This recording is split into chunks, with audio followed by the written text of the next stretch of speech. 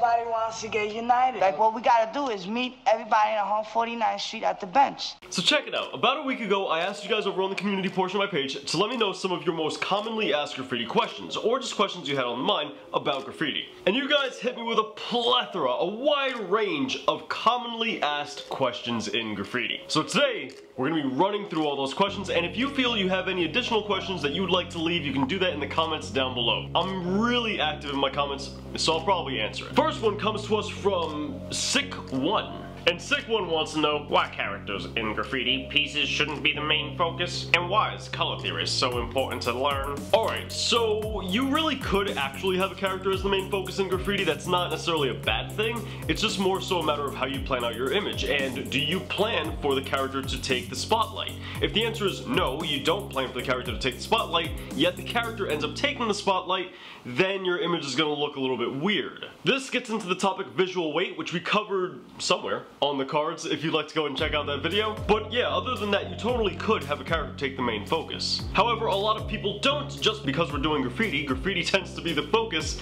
and as a result, you really wouldn't want a character to, to take away from that. That's like, for example, if you're doing a portrait of somebody and they happen to be standing in front of a field, you still have a landscape in the back, but the landscape isn't the focus, the people are. So if the landscape is grabbing everyone's attention, that's a bit of a problem. It's the same thing with that instance. Pistol says he's gotten, what name do I pick? More times than he knows. And you know what? I gotta agree with you. Look, I have a video that explains how to pick a name in graffiti and like the do's and don'ts of a name. I highly recommend if you guys are having trouble with a name, definitely watch that video. But some quick recap tips here. Don't ever change your name because it's hard. That's ridiculous. Every name is gonna come with its challenges. That's the kind of the beauty of graffiti, right? Is like you have to learn the ins and the outs of your name. Back when I was a kid and I was doing graffiti, I talked to literal graffiti legends. And these people would sit me down and they would teach me, and they would straight up tell me to my face that the name Grim cannot flow. Now, of course, we know that's not true. Like, flow is line and letter uniformity and similarity. But this is one of the obstacles that I had to come over myself and every single name is going to give you those same obstacles, right? So if you change your name because it's hard, no other name is going to be easier. They're all still going to be very hard because there's different obstacles with each name. I don't know what to name myself. Fitting for the last question we had. Please, I don't know how to make like the colors in the 3D. They're in most pieces and wild styles. Alright, so to answer this question, I actually have a video talking about this specifically. I highly recommend you watch it. It actually comes with a free ebook as well that you can download. Once again, the ebook is free. Highly recommend that. If you get both of those, you won't have any questions about graffiti after that. Still Trippin' says, How do I get a stylized uh, my tags and pieces? Keep it simple, practice the basics. Keep it simple, practice the basics. Keep it simple, practice the basics. Honestly, when a new artist in any art form goes on the journey of trying to find style, they're immediately going the wrong direction. And every step they take is 10 steps back instead of 10 steps forward. If you're actively pursuing style, then the chances are you are practicing incorrectly and you're making learning take decades longer than it should. The first thing we need to understand about style is style is just the exaggeration of the fundamentals. That's all it is in any art form. Doesn't matter what art form you do.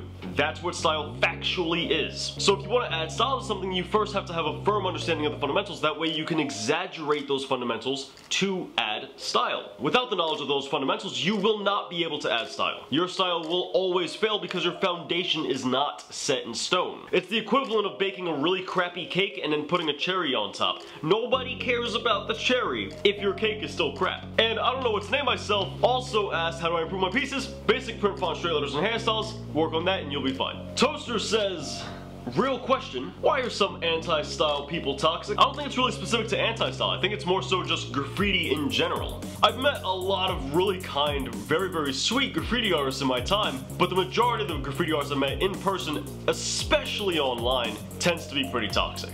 I thought this question was really interesting from Johan, and he asked, why is it always toys that call other people toys? And the answer to that is simple.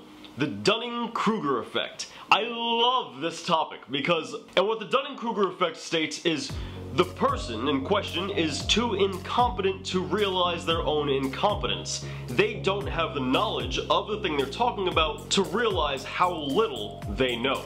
There's actually a graph for the Dunning-Kruger effect that maps the confidence levels based on, you know, the Dunning-Kruger effect. And essentially, When you're a novice, your confidence is really high because you don't understand how much more information you still have to learn.